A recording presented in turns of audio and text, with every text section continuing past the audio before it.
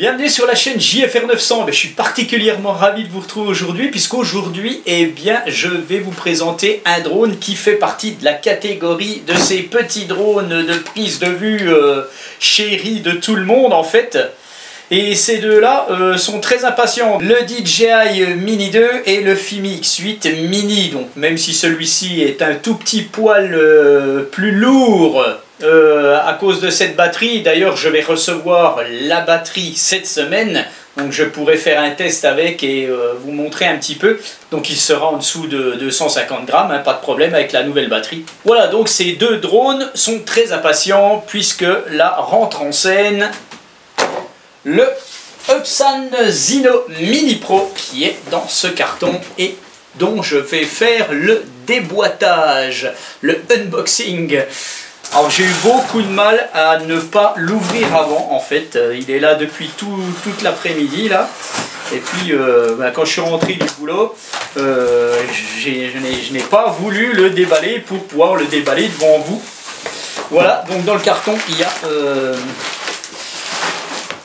quelque chose qui sert à protéger. Tac, voilà, tac, voilà, tac. Et il y a encore quelque chose ici on va regarder ce que c'est. Upsan. Alors attention, qu'est-ce que c'est que ça? D'accord. Un kawaii chinois, dis donc. Voilà, donc un petit... Euh, une sorte de kawaii, un petit je sais pas quoi, voilà. Bon, on verra. Hein, euh, Tiens, je vais l'essayer pour voir. Je vais l'essayer devant vous ce truc. je m'y attendais pas du tout. Voilà, alors je vous fais euh, le unboxing de ce truc qui est dix fois trop gros pour moi, mais que je vais mettre quand même. Donc je pense que c'est quand même pour aller dehors, hein, puisqu'il y a quand même une capuche. Voilà, alors j'ai l'air d'un con, mais bon, au moins on a le, le Upsan Zino. Euh, allez, ah, voilà, donc c'est parti, je vous le déballe. Alors voilà, donc la boîte, hein, on voit la boîte euh, avec un QR code pour avoir plus d'informations. Allez, on va découper ceci. Tac. 249 grammes, donc euh, un drone qui n'a pas besoin de la formation que vous pouvez passer malgré tout hein, sur le site Fox Alpha Tango. Donc vous devrez vous déclarer en tant que télépilote et apposer ce numéro, euh, votre numéro de télépilote sur le drone. Et puis voilà. Donc alors, euh, il y a des scotch partout. Je ne suis pas très fort en déballage, je vous le dis. Je ne suis pas Ken Hutchinson, moi. Voilà, le voilà. Je l'aperçois. Voilà. Alors, dans cette boîte, il y a Remote Control. Donc, Remote Control, ça va être la radiocommande. Voilà, je vous la sors tout de suite. Enfin, la radiocommande. Hein. Voilà, la voilà.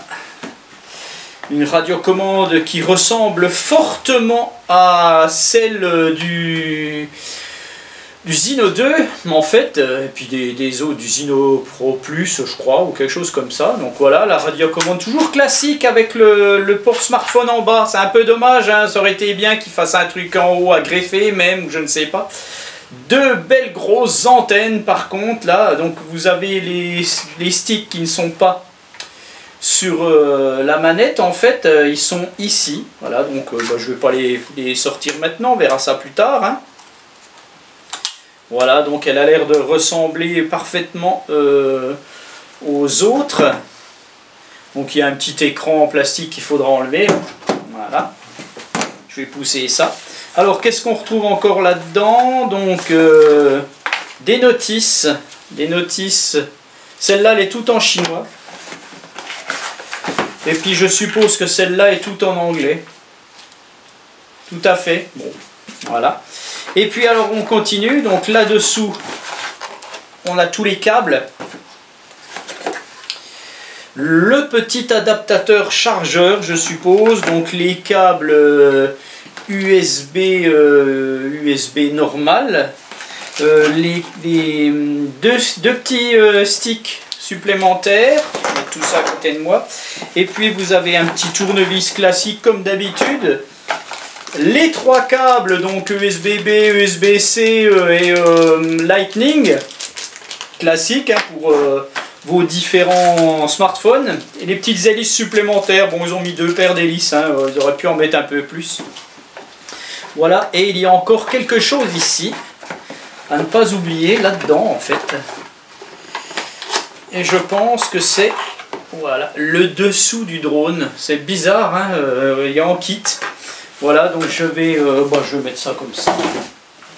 Et maintenant, nous allons sortir la bestiole. Alors, Là, c'est du carton. Là, c'est du carton. Et là, c'est le Zino Mini Pro. Donc, il n'y a plus rien.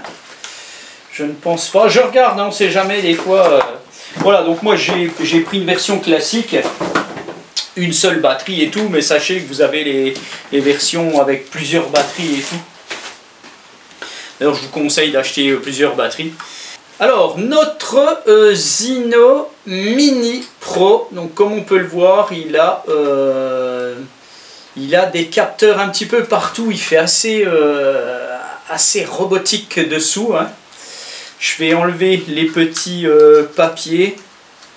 Ça c'est pareil, hein. quand je les enlève, je fais toujours des dégâts. Voilà, tac. Ça je rangerai plus tard. Voilà. Et voilà notre Zino.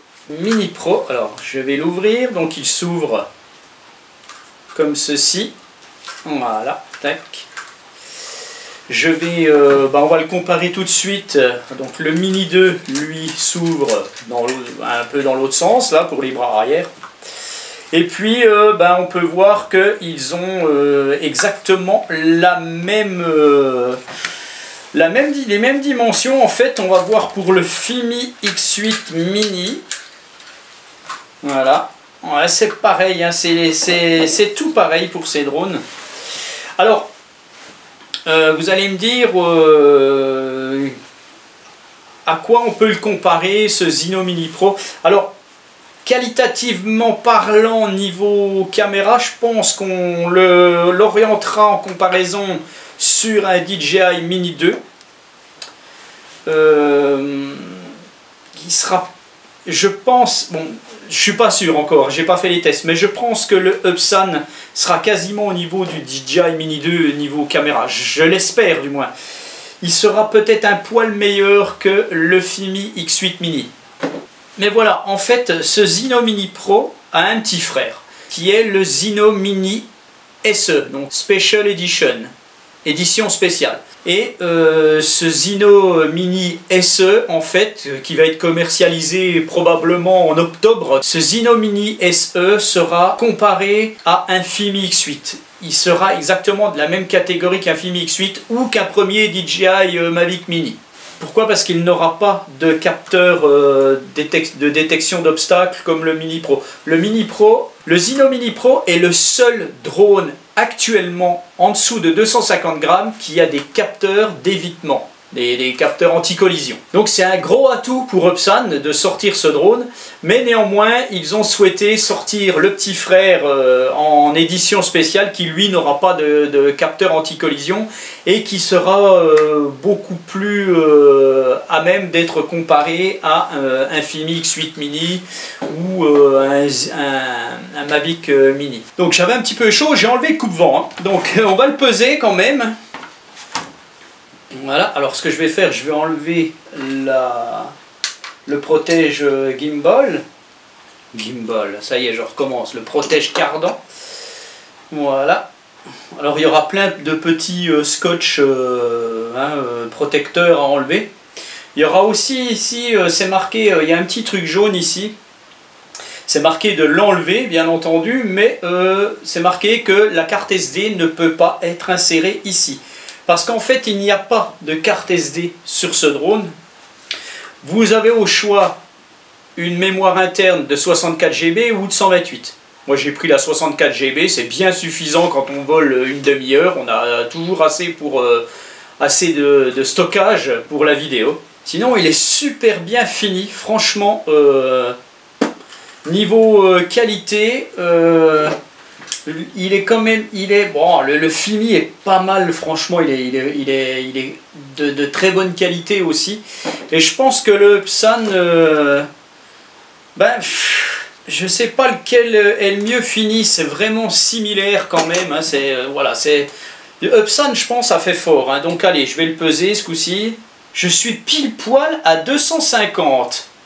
Pile poil à 250. Alors ce que je vais faire, je vais enlever la batterie. Voilà. Alors sans la batterie, je vais le mettre là. hein. Donc sans la batterie, le drone fait 148. Et, et le Mini 2, lui, euh, fait 158. Il est un peu plus lourd sans, sa, euh, sans la batterie en fait. Et euh, notre Fimi, lui, fait 160. Donc il est un peu plus lourd. Donc il est assez léger euh, notre, euh, notre drone, 148, ce qui veut dire que la batterie est probablement assez lourde, elle fait 103 grammes, la batterie fait 80 grammes, la batterie du, euh, du DJI. Donc voilà toute la différence en fait. DJI mise vraiment sur des batteries légères. Là, la batterie est un peu, lourde, mais bon, euh, voilà, on n'a pas de capot. hein, Il y a l'arrière qui fait, qui fait que euh, cette batterie est plus lourde. Euh, pareil pour celle-ci, hein, celle du Fimi fait 102. Euh, à savoir que la batterie Pro qui sort maintenant est plus légère et peut-être de meilleure capacité. Donc à voir, dans la semaine quand je vais la recevoir. Voilà, donc euh, notre petit Upsan, lui, euh, malgré tous ces détecteurs et tout, euh, bah, franchement, il, est en- il est à 250 grammes. Moi, je ils annoncent 249, moi j'ai 250. Mais bon, peu importe, vous êtes dedans, quoi, là, c'est pas grave. hein. Donc voilà pour le unboxing. Bah, on va voir la configuration du drone tout de suite. Ah, donc ce que je vais faire tout de suite, eh bien, je vais allumer la radio. Elle a l'air euh, assez chargée. Je vais allumer le drone, on va déjà voir euh, s'il y a une connexion, on va le savoir tout de suite. Alors je cherche le bouton, il est à l'arrière. Un appui court, un appui long.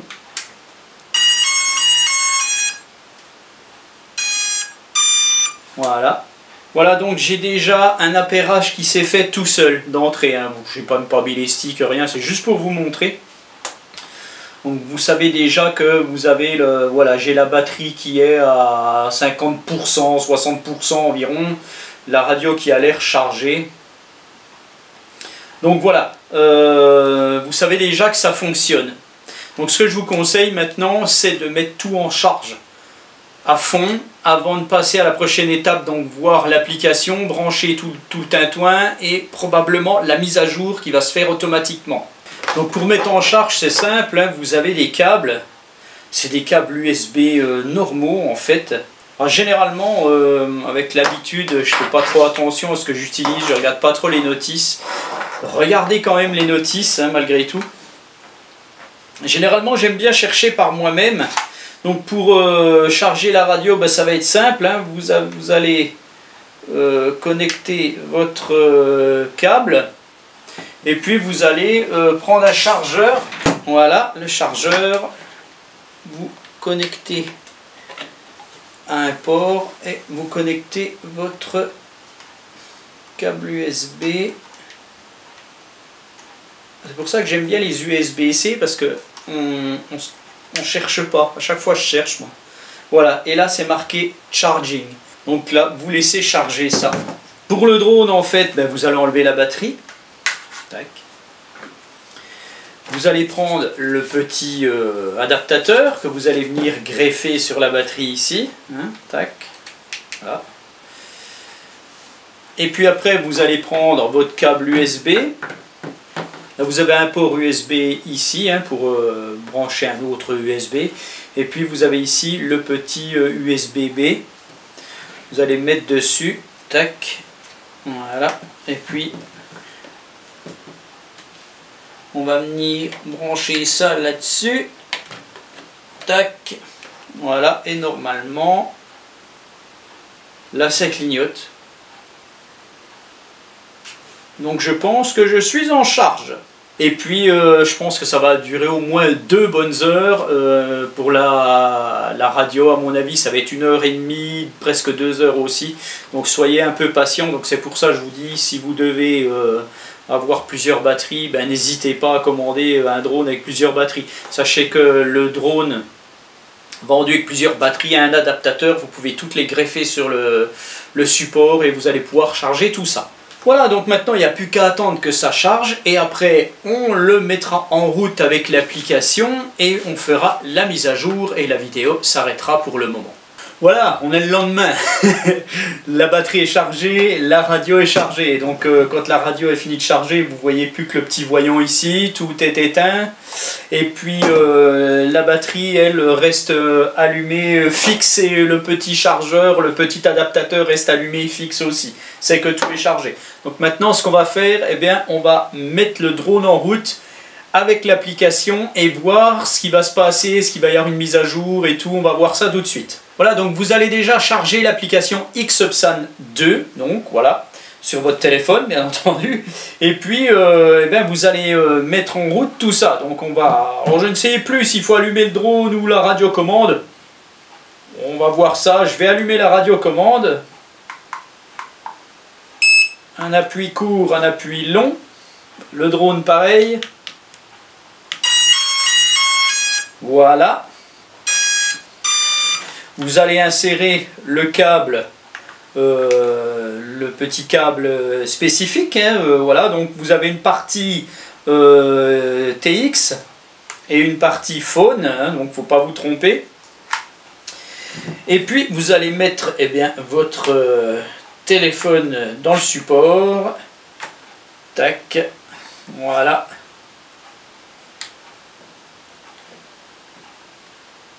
Et puis vous allez brancher ça. Et on va voir ce qui va se passer. Voilà, moi j'ai eu Xupsan 2 qui arrive tout de suite en fait. Voilà, activer le drone.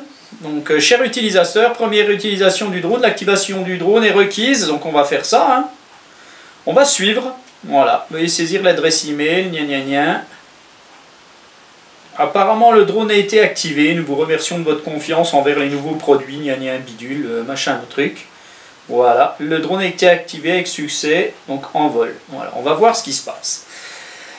Voilà, afin de réduire la consommation d'énergie, d'économiser, euh, voilà, j'ai pas pu lire ce qu'il y avait. Euh, en fait, vous n'avez pas, voilà, je le sais, mais vous n'avez pas le retour vidéo. Donc, il ne faut pas vous inquiéter. Il n'y a pas le retour vidéo. En fait, le retour vidéo se fera euh, quand vous allez décoller. Alors, ça, je vais l'enlever. Donc, on me dit qu'il y a une mise à jour du firmware. Alors déjà, c'est bien parce que c'est en français. Ça, c'est vraiment bien. Alors, je regarde si je filme comme il faut. Voilà. On va mettre à jour. On va regarder ce qui va se passer. Upgrade the remote control. Ça va très vite. Hein, c'est un peu chiant. Allez, mettre à jour. Alors, il faut que j'éteigne. Il faut éteindre le drone. Voilà, j'éteins le drone.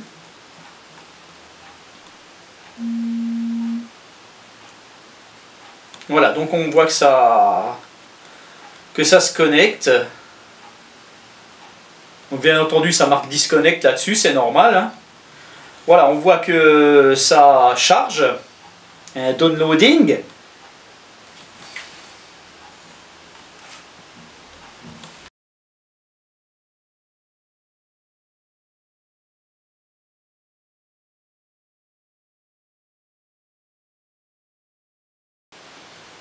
Donc euh, faites attention d'avoir toujours la charge euh, de, vos batteries, drone et radio euh, comme il faut, d'avoir de la charge sur votre téléphone, enfin voilà, et d'avoir une très très bonne connexion. Data is being written, please wait patiently. Donc là il dit que c'est en train de s'écrire hein, dans la radio. Donc il faut patienter. On va laisser faire, tranquillement, gentiment. Voilà.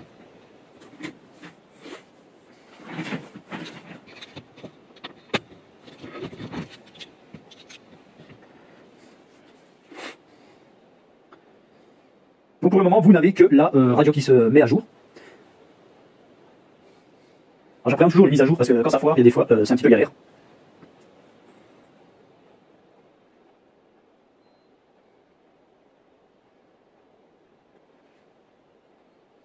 À gauche, vous retrouvez ici les instructions. Surtout ne pas débrancher, voilà. euh.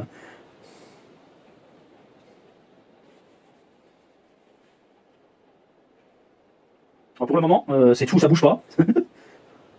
Apparemment, ça va bouger, je pense. Voilà, la télécommande va euh, redémarrer. Apparemment.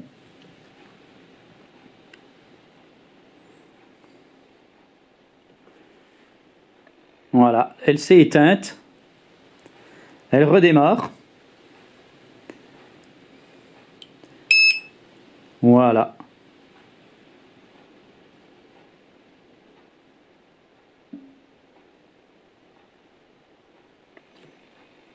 Ça j'annule, voilà. Mise à jour terminée. Ok, il faudra redémarrer la radiocommande.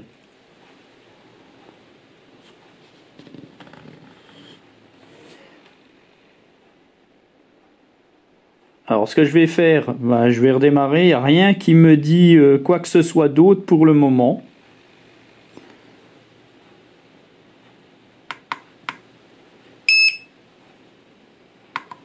Voilà, j'arrête ça.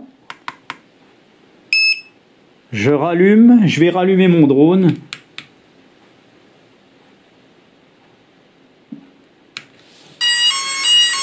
Voilà.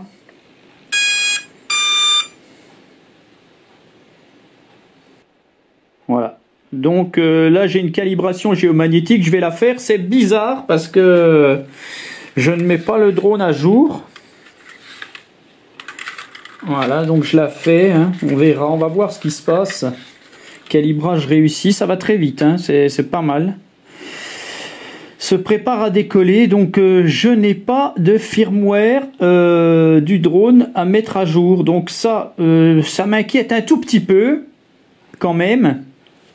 Alors ce que je vais faire, je vais regarder quel firmware on est. Voilà, je vais aller ici, généralement c'est là, on est en version, voilà, avion factory, voilà, vérifier et mettre à jour l'émetteur, donc ça, ça doit être bon. Alors je vais, voilà, je vais mettre à jour avant la mise à niveau, gna gna gna, ouais, bon, voilà.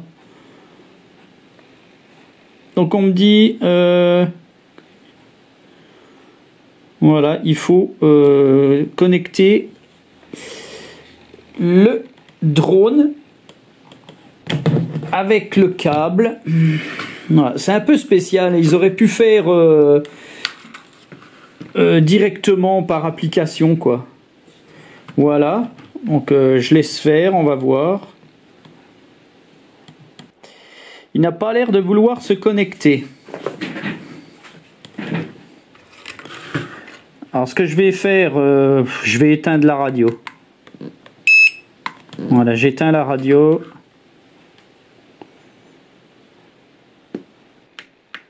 Je vais éteindre le drone et le rallumer.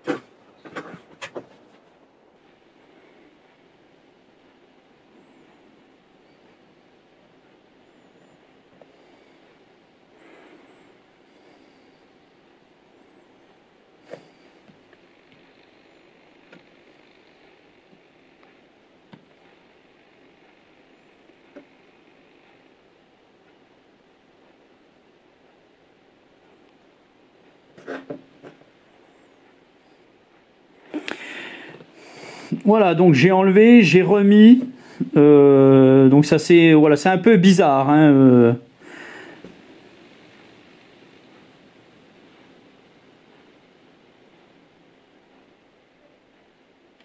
Alors je ne sais pas pourquoi c'est marqué effacer les fichiers de mise à niveau.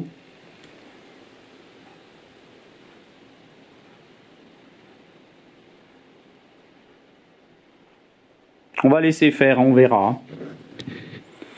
Faut pas paniquer.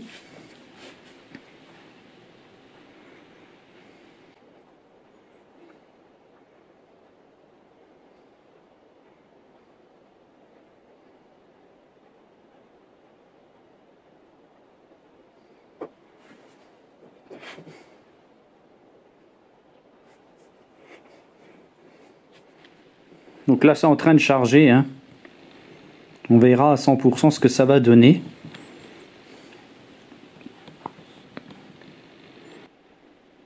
Mettre à jour. On y va. On essaye.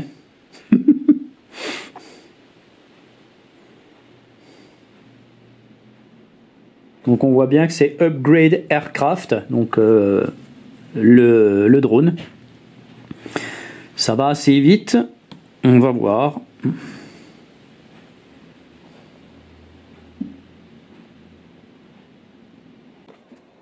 Apparemment, là, ça va redémarrer.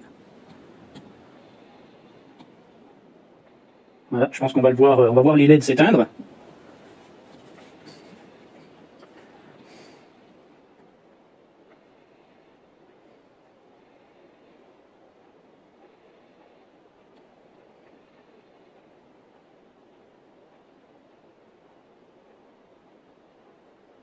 75%. Pour le moment, tout va bien.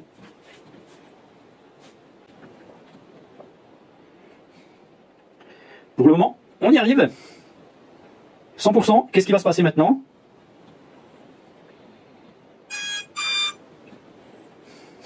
Ok.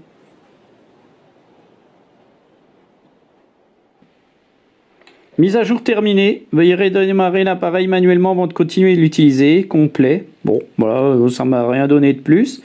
Donc ce que je vais faire maintenant, eh bien, je vais euh, tout éteindre.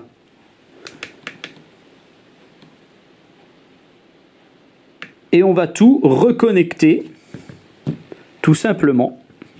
Donc hop, on met ça à la radiocommande. Vous avez le petit truc hein, ici si vous voulez passer votre fil. Bon là je vais le faire comme ça, mais voilà. Tac. Et puis, euh, eh bien on va tout redémarrer gentiment.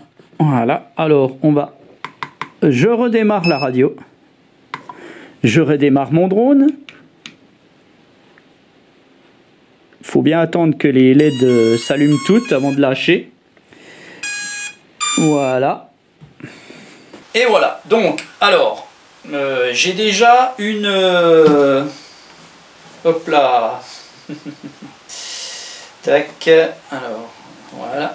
Voilà, donc ça, ça vous marque ça ici. Hein, voilà. Afin de réduire la consommation d'énergie, économiser l'énergie, le FPV, donc le retour vidéo, a été automatiquement désactivé et le retour vidéo, le FPV, s'allume s'allumera automatiquement pardon, après le décollage de l'avion. Donc n'ayez pas peur si vous n'avez pas d'image. Voilà, ça, ça le remarque ici. On sait bien, c'est en français, hein, c'est déjà pas mal. Alors, euh, qu'est-ce qu'on a là-dedans? Voilà, dans les firmware, version, voilà. Donc là, on est à jour, pas de problème. Vous avez toutes les calibrations, hein, bien entendu, gyro, donc ça il faudra le faire, bien entendu. Alors, euh, bah tiens, on va faire le gyro. Démarrer la calibration du gyro, pendant qu'on y est. Voilà, étalonnage réussi. Ça, faut le faire systématiquement. La boussole, je l'ai fait tout à l'heure, hein, vous l'avez vu. Les mu, c'est les accéléromètres, les choses comme ça. Voilà.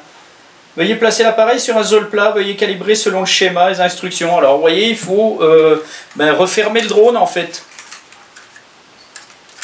Alors il chauffe, hein. franchement j'ai la main dessous là, euh, il chauffe beaucoup ce drone. Allez on y va. Tac. Donc là ils me le disent de, de faire comme ça là. Allez, hop, je le mets de côté.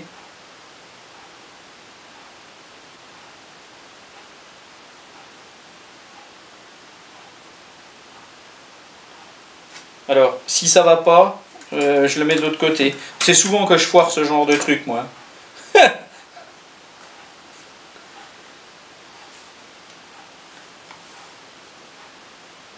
voilà, donc ça a l'air d'aller, hein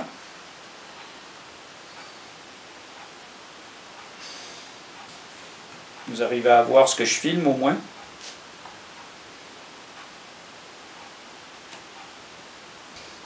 On le met à l'envers. Tac. Alors, ma caméra vient de s'arrêter, je ne peux plus filmer. Il y a trop chaud. Et voilà, dans ce sens-là. Alors là, par contre, il faut que je fasse comme ça.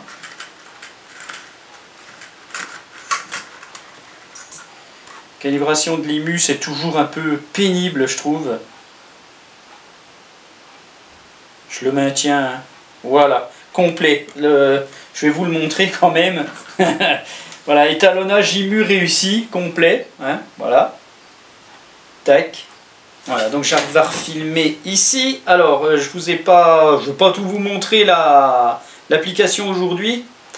Euh, voilà, il y a une calibration horizontale voilà, je vais démarrer la calibration horizontale maintenant de nouveau, donc il faut mettre le drone à plat. Un peu comme le gyro, enfin c'est plein de... Il y a plusieurs calibrations, moi j'avais jamais vu autant de trucs. Réglage de la hauteur de l'altitude du retour, moi je vais me mettre à, 30 mètres.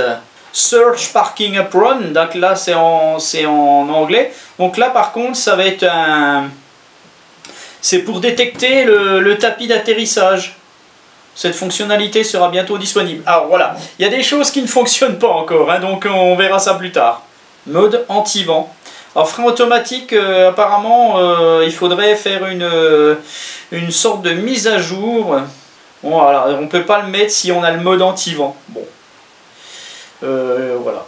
Lorsqu'il est activé, l'aéronef gagnera en résistance au vent, mais la nacelle sera moins stable. Donc bon, on va laisser ça comme ça. Voilà, donc on a démarré le drone, on a fait les calibrations, voilà.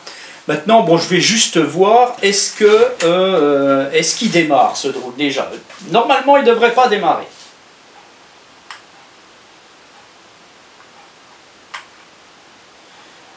Voilà, donc il s'est marqué, il est interdit de décoller quand vous n'avez pas le GPS. Ça, c'est une chose qui peut se paramétrer. Alors ce que je vais faire, je vais essayer de le trouver, je ne me rappelle plus où c'est. Donc c'est dans contrôle, hein, GPS décollage sécuritaire. Pour la sécurité du vol, l'avion a besoin d'un bon signal GPS, oui ou non Moi je mets maintenant. Et là, je vais pouvoir démarrer les moteurs. Voilà. On l'entend pas. Franchement.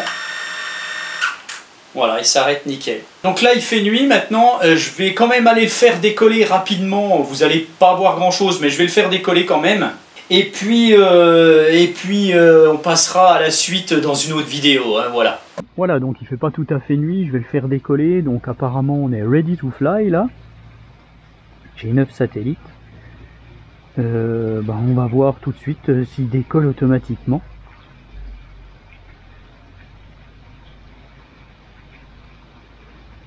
Êtes-vous sûr de, du décoller? Oui, allez, on y va.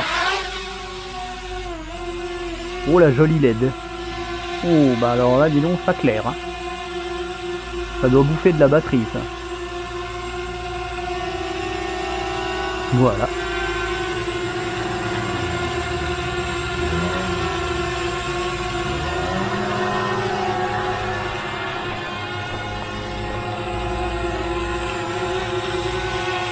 J'espère que vous voyez un petit peu quand même.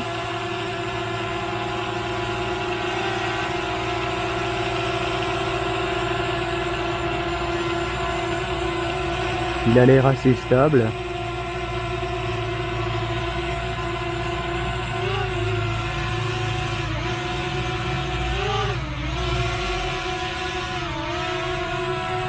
Alors bien entendu, euh, ce drone est très très récent.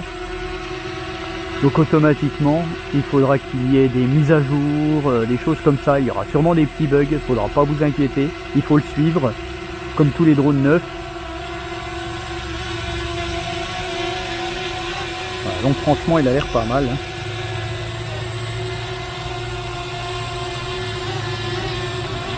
Alors est-ce que je peux enregistrer une vidéo là? Je ne sais pas du tout à combien je suis, hein. Euh, là je le démarre. Euh. Là je suis en train d'enregistrer. Donc euh, bon bah je pense que vous n'allez pas voir grand chose. On va le faire monter, on va voir. Hein.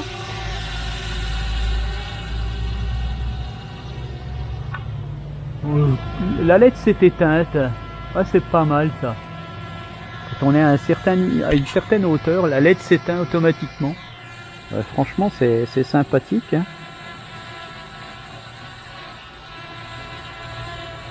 Tourner.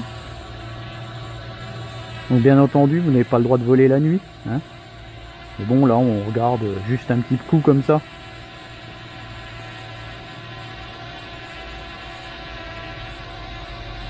Là, je zoome.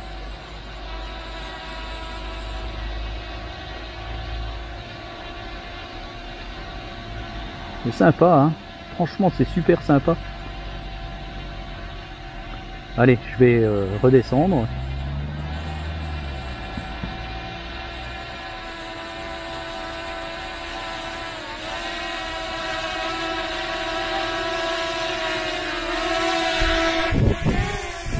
Il est où mon drone? Il est ici, il a un petit peu quand même. La, lumière, euh, la lumière, la LED se réactive, arrivée à 2 mètres. Ouais, c'est super sympa, franchement. Euh, chapeau Epson là. Hein. Un bon petit drone à mon avis euh, à suivre de près. Il n'a pas l'air de nous faire de faux bons.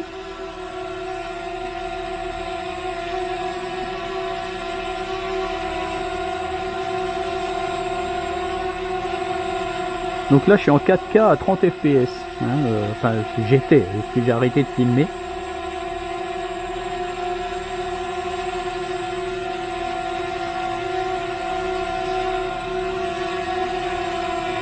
Voilà, donc euh, ben, ça va être tout pour aujourd'hui. Hein. Alors, est-ce que je peux le faire atterrir vers moi sans que... Ah oui, alors là, il détecte ma main en fait. Hein détecte.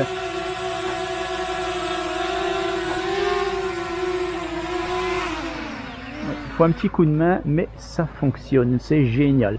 Bon alors, voilà, pour une première approche, hein, une première mise en route, vous avez vu, c'était assez vite.